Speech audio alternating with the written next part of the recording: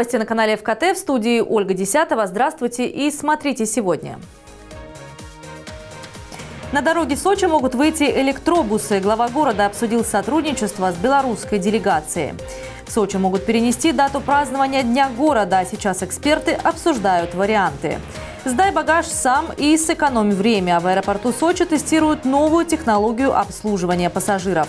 Международный, зимний и вовсе не несчастливый. В Сочи в 13 раз стартовал фестиваль искусств под руководством Юрия Башмета.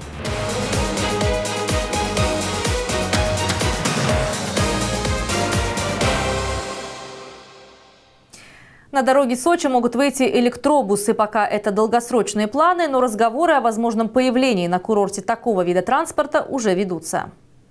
С предложением провести в Сочи испытание электробуса выступил заместитель премьер-министра Республики Беларусь Владимир Семашко. Встречу с делегацией накануне провел глава города. Алексей Копайгородский отметил важность транспортной темы на курорте и подчеркнул, что автобусы марки МАЗ, закупленные 6 лет назад для Сочи, вполне комфортные и надежные. И в планах мэрии заказать еще полторы сотни таких автобусов. Хорошо себя зарекомендовал не только транспорт, созданный Минским автозаводом, но и белорусские электробусы. Их уже активно используют в городском хозяйстве Москвы. Недавно испытания проводились в Екатеринбурге, Ташкенте и Самаре. И Сочи может не стать исключением. Мы готовы поставить на испытание один такой электробус. Мы это сможем сделать где-нибудь в июне, в июле месяце. Сопроводить это нашим и персоналом водительским для начала.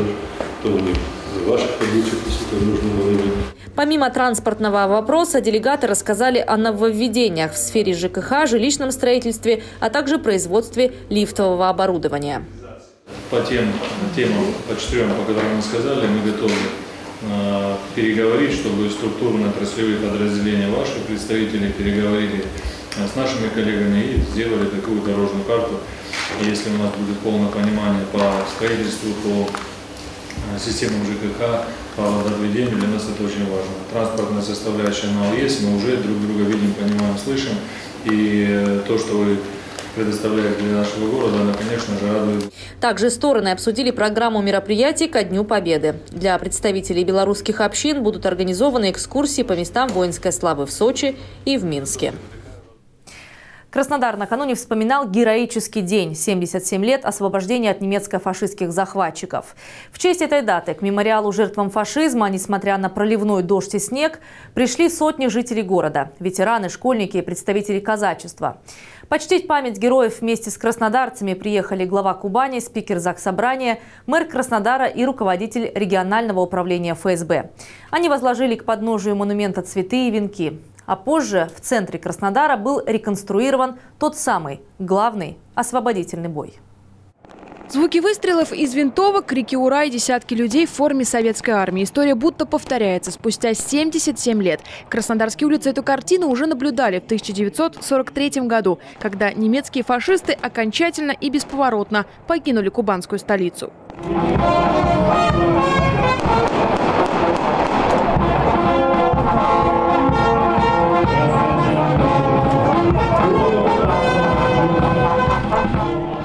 И вновь над городом алое полотнище, как символ освобождения Краснодара. На историческое здание бывший крайком ВКПБ его водрузили участники реконструкции. За зрелищем наблюдает сотни людей. Это наша общая история и память. Все очень по-настоящему, все эффектно. Про эффектно прочувствуем, я думаю, сегодня полностью всю атмосферу, которая происходила в те времена. Это важно для того, чтобы наши потомки не забывали подвиги наших дедов, отцов, героев этого Отечества. Краснодар наш. По улицам проходят наши войска. Их приветствуют жители освобожденного города. Чтобы услышать эту долгожданную новость, люди прожили в оккупации 186 страшных дней и ночей. Более 13 тысяч краснодарцев были убиты и замучены до смерти. Все ужасы войны Виктору Коваленко пришлось испытать в 6 лет. Его дом по улице Новокузнечной заметно изменился с тех страшных времен. Но вот чердак, на котором семья маленького Вити тогда приютила сбежавших из плена советских бойцов, кажется, остался прежним. Пока дядя Андрей и дядя Сеня укрывались под крышей, в доме одну из комнат занял немецкий офицер – август. Красноармейцам все же было суждено встретиться с гитлеровцем. Никаких разговоров не было, ничего не было. Ни слова, никто. Только потом дядя Сеня рассказывал, говорит, иду, когда он идет, на, не на столе, он стоит с топором. А, а я, говорит, смотрю на его руку, если только поля, а кобураж вот здесь вот, у немца висел. Если только, смотри, если только, только сразу топором сброшен, бро, бро. Август даже и намека прошел, вежливо поздоровался, он такой интеллигентный, ну, инженер немецкий. День, когда в Краснодар пришла свобода, Виктор Коваленко до сих пор не может вспоминать без слез. Это след войны, который не стирается со временем. Красноармейцев тогда встречали криками «Ура!», обнимали и угощали кто чем мог. Самое бесценное, чем тогда поделился маленький Витя, была горбушка черного хлеба с постным маслом и солью. Я выскочил этим кусочком хлеба. К солдату как подбежал. Так мне шлепнуло. Скушался. Я подбежал к бабушке в подол, уткнулся. Не могу сейчас это. Вот так встретили. Оказалось, вот прибежались пацаны уже, когда все, все. А, и у нас были, о, давай друг перед другом выпендриваться. И у нас были, и у нас были, и у нас были, и у нас были. Вот что такое русский народ.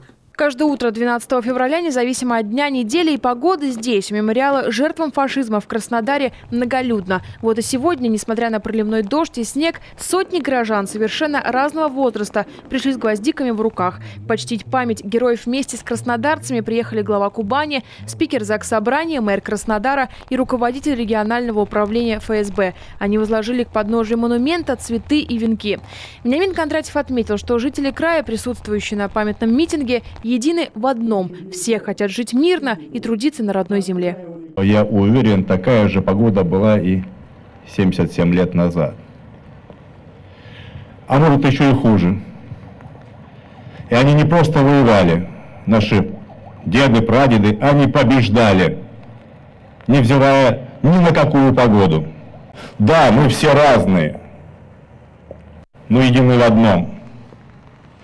Мы все хотим, чтобы над нашими головами было мирное небо.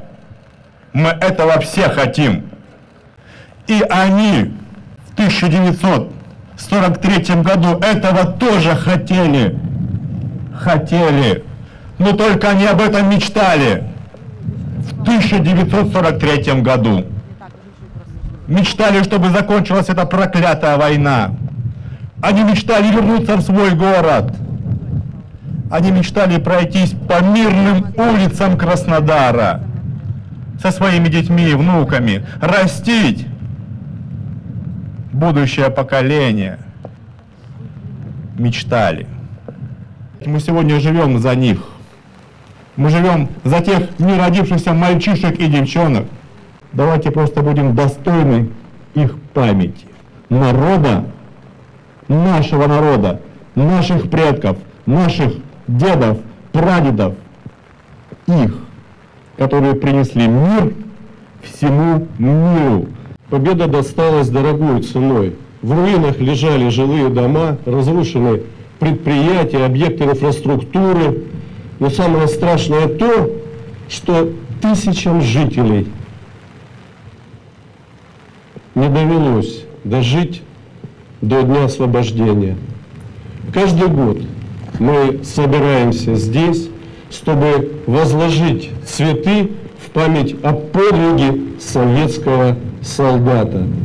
Мы с благодарностью и скорбью вспоминаем именно всех, кто спас нашу родную Кубань и страну от немецко-фашистских захватчиков. Война разделила жизнь людей на «до» и «после». Многим пришлось попросту заново учиться, чувствовать, любить и радоваться. В себя приходил и город. Краснодар встретил победу разрушенным. В руинах лежали заводы имени Седина и Калинина, мельница, электростанция. Ущерб, причиненный немцами на тот момент, превышал 2 миллиарда рублей. Освобождение Краснодара, как и всей Кубани, это было важное событие для жизни не только жителей Краснодара, Кубани, но и всей страны. Потому что каждый взятый новый рубеж Каждый отбитый у фашистов населенный пункт вселял надежду, приближал великую победу.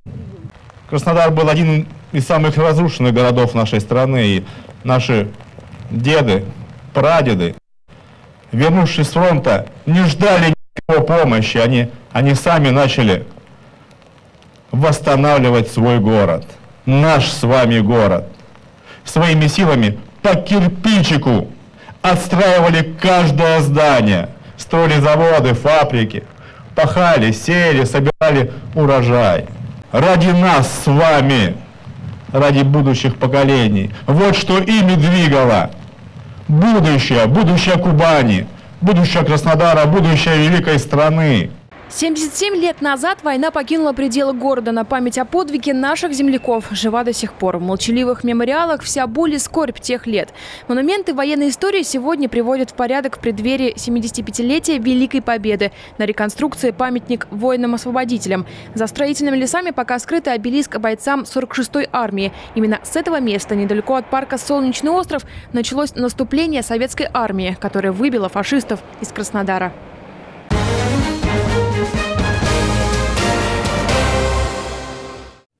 А мы продолжаем наш проект «Календарь Победы». 13 февраля 1945-го советские войска взяли Будапешт. Этому предшествовали полуторамесячная осада и упорные бои.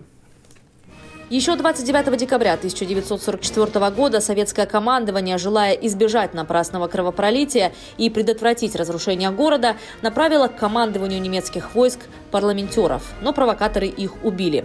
Вопрос был решен однозначно, вражеская группировка должна быть ликвидирована.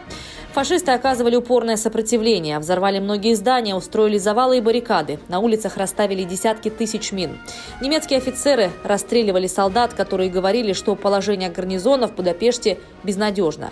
Ведь советские войска все теснее сжимали кольцо, отбивали квартал за кварталом. За полтора месяца в Будапеште взято в плен более 110 тысяч солдат и офицеров противника. В Восточной Пруссии кавалеристы захватили 22 фашистских железнодорожных эшелона. А в Брест, Гродно, Волковыск и другие города Белоруссии начинают из немецкой неволи возвращаться тысячи людей. Они были угнаны фашистами на каторгу. Во всех областных центрах для оказания помощи прибывающим созданы приемно-распределительные пункты. На это выделены особые средства. Также в этот день родился маршал и герой Советского Союза Семен Куркоткин. Начав службу политруком, в 43-45 годах он занял пост командира танковой бригады на Первом Украинском фронте. Всегда мужественно сражался, не боялся пуль. За время войны несколько раз был ранен, награжден шестью боевыми орденами. Танковая бригада под командованием Семена Куркоткина стала носить имя Краснознаменной. После окончания войны Куркоткин руководил войсками Закавказского военного округа. Позже стал главнокомандующим группы советских войск в Германии, начальником тыла вооруженных сил СССР.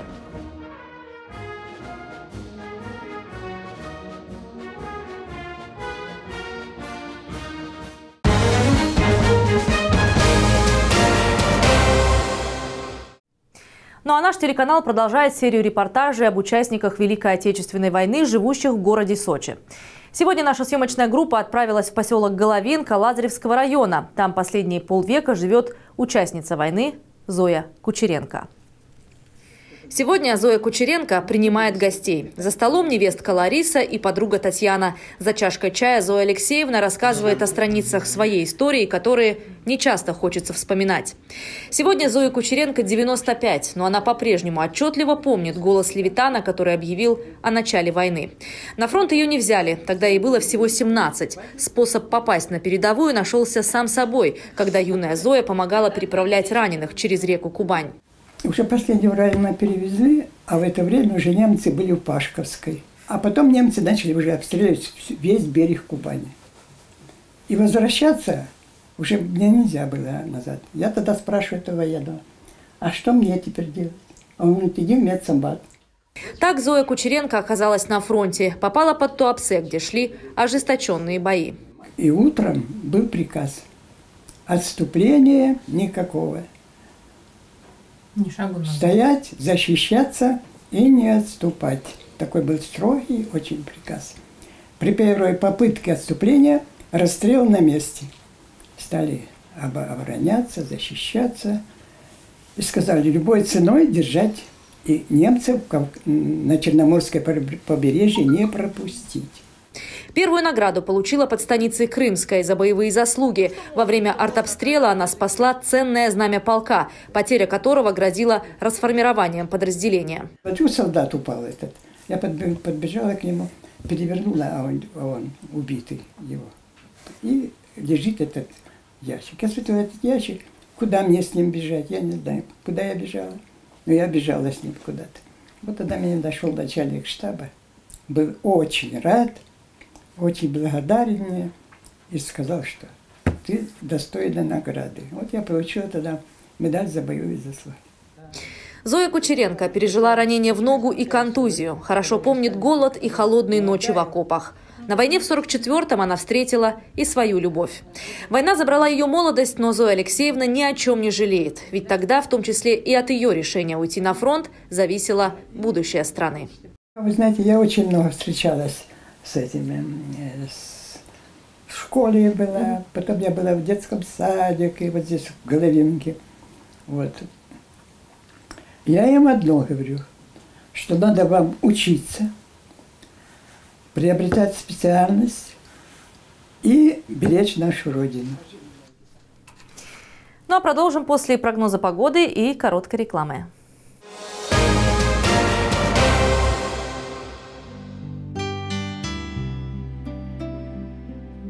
Четырнадцатого февраля в Сочи переменная облачность и дождь. Температура воздуха ночью плюс 1, плюс 3. Днем 5-7 градусов выше нуля. Температура морской воды плюс 9. А в Красной Поляне 14 февраля облачно и снег. Температура воздуха ночью минус 1, минус 3, днем 0, плюс 2.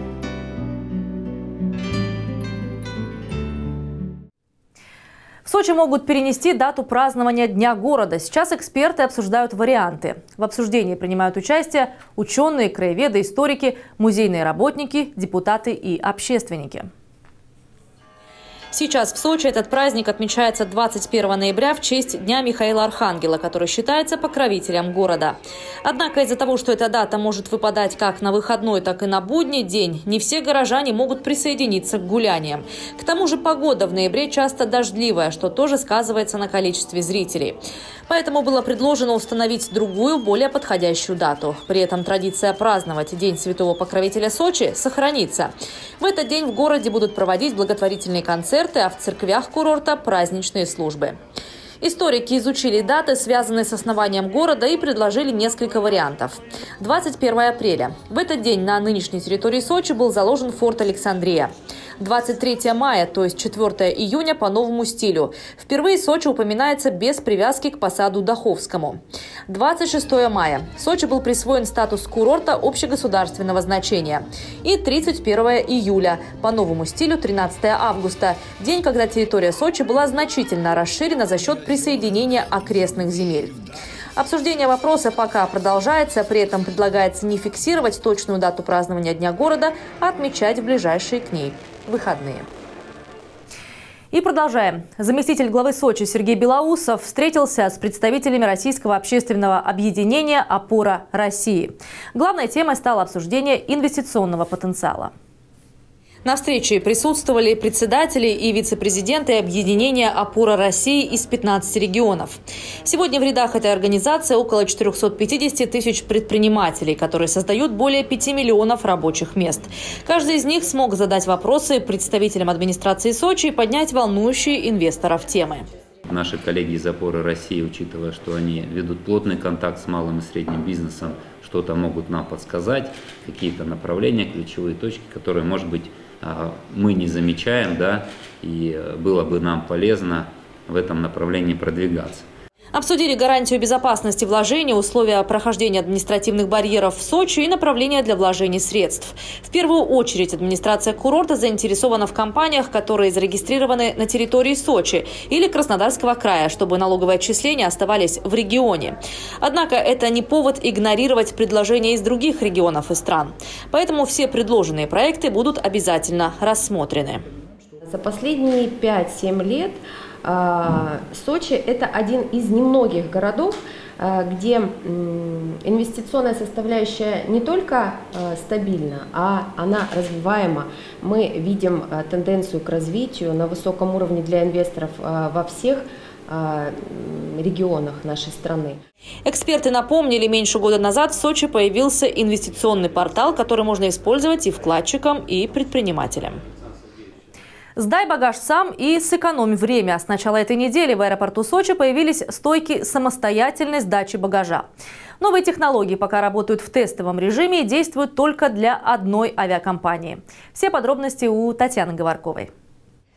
Минимизировать живое обслуживание и полностью автоматизировать процесс. К этому постепенно приходят все международные аэропорты. Тех, кто часто выезжает за рубеж, самостоятельной регистрацией и распечаткой багажных бирок не удивить. Такие стойки есть во многих городах Европы. А вот в Сочи они появились с начала этой недели и обойтись без помощи специалистов пока могут не все пассажиры.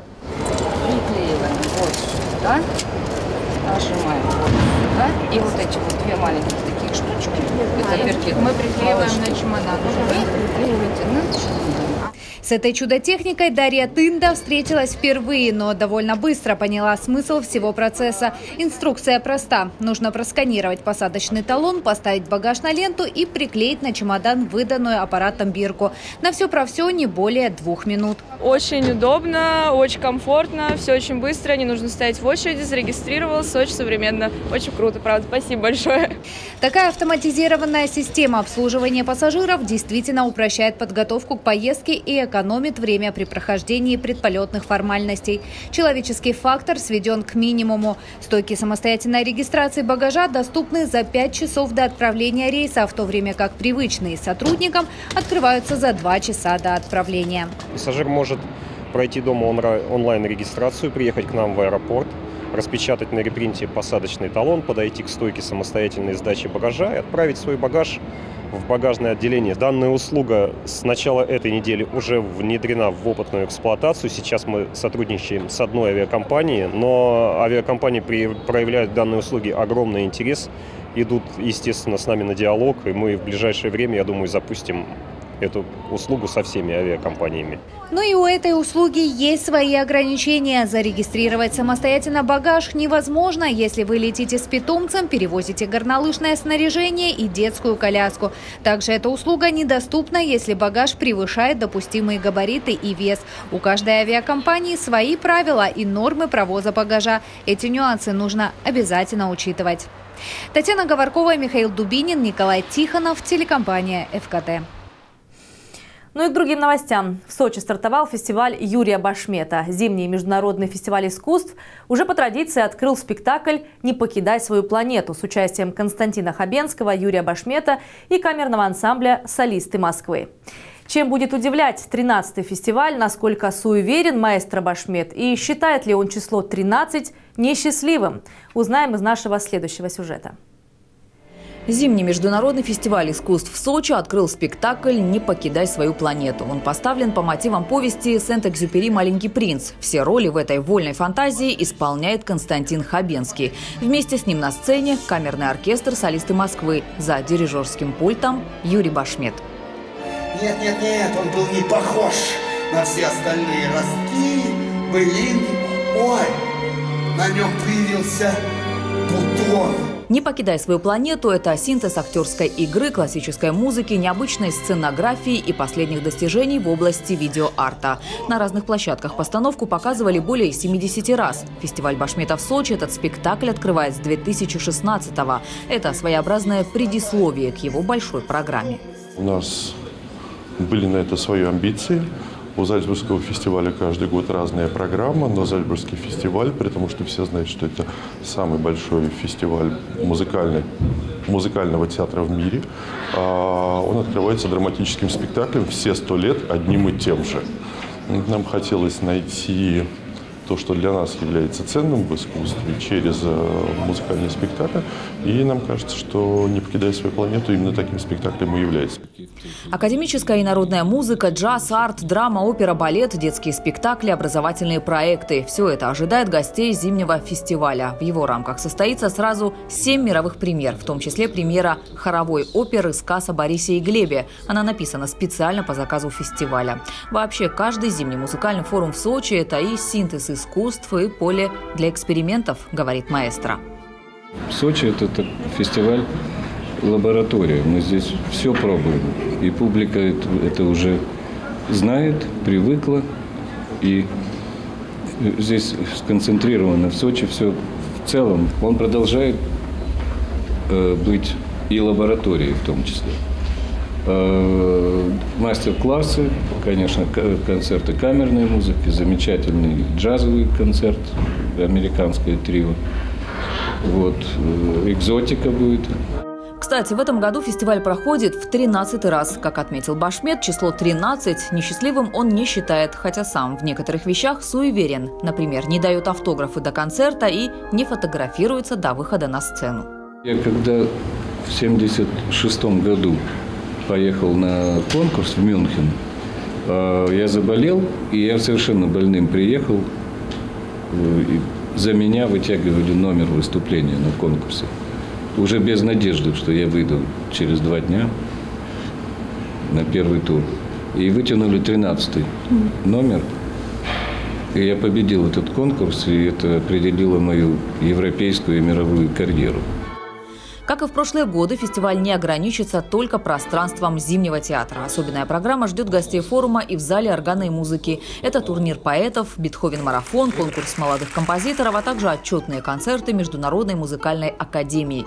Завершится фестиваль искусств в Сочи 23 февраля большим гала-концертом, на котором тоже не обойдется без мировых премьер и, конечно, бессмертных хитов классической музыки.